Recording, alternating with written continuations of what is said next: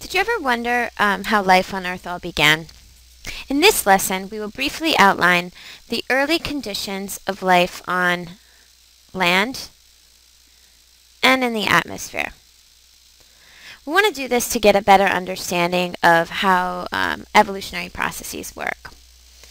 Um, so, to start, um, let's begin with land. Um, about 4.6 billion years ago, the Earth was essentially uh, molten rock.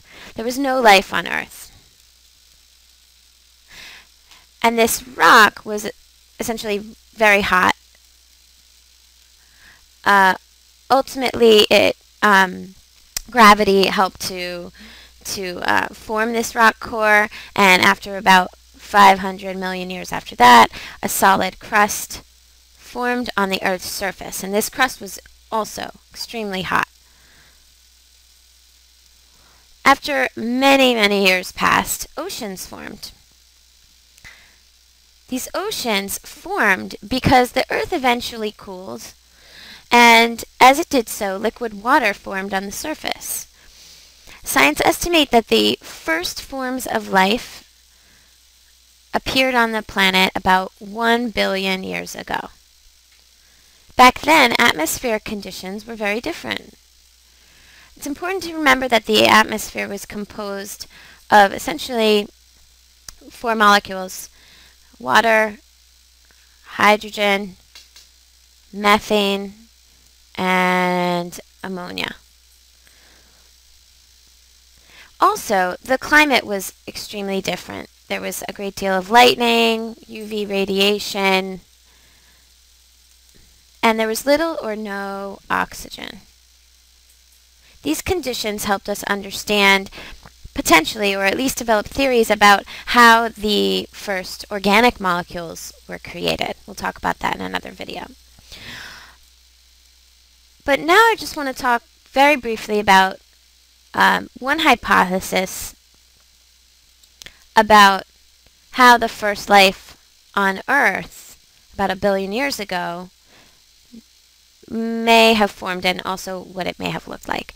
So the first um, maybe life on Earth, according to scientists, might have been uh, a heterotroph, something that uh, needs food to survive, cannot cannot produce its own food, so it's a consumer.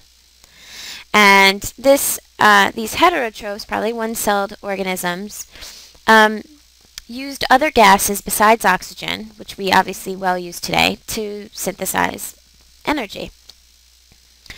So remember, there was no oxygen on the planet. Eventually, heterotrophs um, were not consuming enough nutrients to survive because the environment didn't have enough to supply. They couldn't keep up. So ultimately, scientists proposed that um, there was a new mechanism, autotrophs, um, which are producers. These one-celled organisms ultimately, you know, potentially made their own food. They did not look like plants. They were probably one-celled, but I'm making a plant-like structure here. Um, and these early, early autotrophs evolved, um, and really importantly, uh, evolved not only did this help heterotrophs and supply more food for heterotrophs, but autotrophs, their waste product was oxygen. So oxygen, as it turned out, became a very efficient way to produce energy in both autotrophs and heterotrophs. And these organisms, as oxygen uh, developed in the atmosphere, um, ultimately thrived. And today, our atmosphere is made of, you know, mostly nitrogen and oxygen. And our dominant organisms are oxygen-dependent organisms.